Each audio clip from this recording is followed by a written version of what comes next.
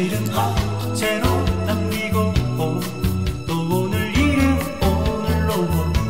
엉클어진 우리의 모습